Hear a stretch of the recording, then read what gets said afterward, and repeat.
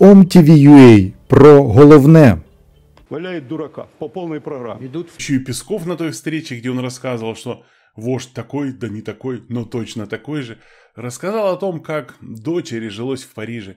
Оказывается, очень плохо жилось, по-спартански, практически, можно сказать, человек, ну, можно сказать, мучился, жил и страдал. Она никогда не была ребенком-мажором. У нее была очень непростая жизнь, непростая учеба, не только в России, она училась еще и во Франции. И она всегда жила, жи- жила там очень бедно, в очень спартанских условиях. И надо сказать, это чистой воды правда. Никто ж не следил, не видел фотографии из частных бизнес-джетов на каких-то яхтах, да и просто дома в дорогой обстановке. Хотя все это, наверное, враги сделали фотошоп и залили во вражеский, запрещенный экстремистский, не знаю какой еще, Инстаграм. А жила прям страдала, прям мучилась, ни на что не хватало, спартанские условия. На Анакоме с дошираком это максимум. Сейчас, слава богу, вернулась обратно. Здесь-то все хорошо. А что, разве плохо? Вот, смотрите, кто сказал, что нету свободы слова? Да пожалуйста, сколько угодно есть. Проверили Маргариту Симонян за ее рассказы про взрыв ядерной бомбы над Сибирью. И не нашли в этом ничего такого. Депутат Московской думы Ступин просил официально проверить. Официально проверили. И ничего не нашли. Дали ответ. Ничего такого нет, что нарушало бы законодательство. что если произвести в сотнях километрах на нашей же территории, где-нибудь над Сибирью, термоядерный взрыв, например, ядерный взрыв, то ничего не будет на Земле.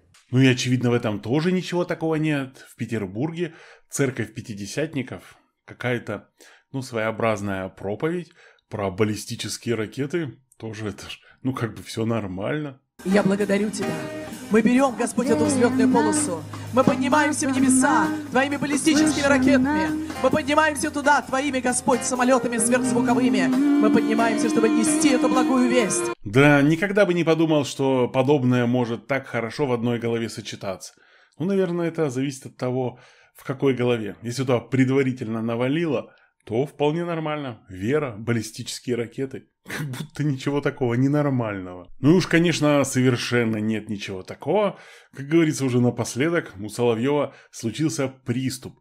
Буквально приступ имперского возгорания. Прям в эфире. Правда, в его собственном частном эфире. Ему там и комфортнее. Таблеточки всегда под рукой. Вот где зло сидит. Вот где либерастня расселась. Ну ничего, зато педерасты вам близки. Ничего себе его как сильно крючит. Это с чего ж такое?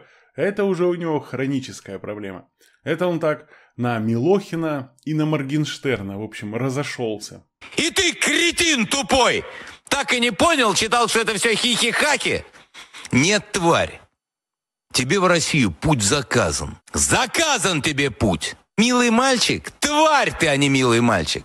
Такие, как ты, обслуживали бы гестаповцев, что ртом, что жопой. Жестко его прет. Ну а дальше, опять же, в этих словах, ну как бы никакого разжигания ни в коем случае. Я уверен, что если даже очень проверить, никакого там нет, ни нарушения, ничего, тем более закона. Развратили страну, воспитали поколение юных пидорасов. Слово греческое, приличное. Сначала срочные новости. Василю, найперше видання Hill пише, але насправді багато хто і інститут вивчення війни, і британська розвідка, і також Генеральний штаб збройних сил України говорять про те, що відбувається на лівобережжі Дніпра на Херсонщині. Там українським військовим вдалося закріпитись на лівому березі е, цієї області. Ну знову ж таки, повертаючись до е, The Hill е, цього видання. Херсонський плацдарм України є багатообіцяючим і ставить Росію у скрутне становище. Ось так пишуть е, аналітики або журналісти цього видання. Пане Василю, скажіть, будь ласка, як те, що зараз відбувається на лівобережжі Херсонщини, впливає загалом на всі дії росіян на, на і на південному, і на східному фронтах російсько-української війни? І чи можна зараз вже говорити про якийсь значний вплив, про розтягування можливо їхніх сил і так далі?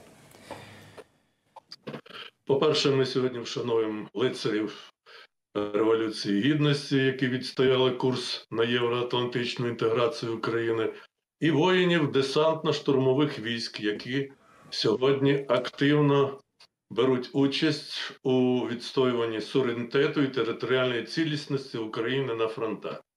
Стосовно вашого питання, логічно це перепливає і е, ситуацію стосовно проблеми на півдні, і, зокрема, на лівобережжі. Е, Ми всі прекрасно усвідомлюємо, що повинні дотримуватися інформаційної гігієни і безпеки в інформаційному просторі, тому що ворог це все ретельно відслідковує і враховує в своїй подальшій діяльності проти Збройних сил України. Те, що там відбувається, як на мене, це закономірне, закономірний процес, і він пов'язаний із тими тактико-стратегічними планами і Генерального штабу і Верховного головнокомандування, і мета яких в одному: звільнити і всю територію Херсонської області, і Південь, і Крим. Для цього, як ми з вами відслідковували цю ситуацію в публічному просторі, тривалий час відбувалися відповідні диверсійні операції е, на цьому лівобережжі. Е, проникали туди наші диверсійні групи, створювали відповідне враження тимчасовості для ворога. А в результаті ми зараз маємо три плацдарми. Хоча вони і не такі вже надпотужні, але вони стійкі.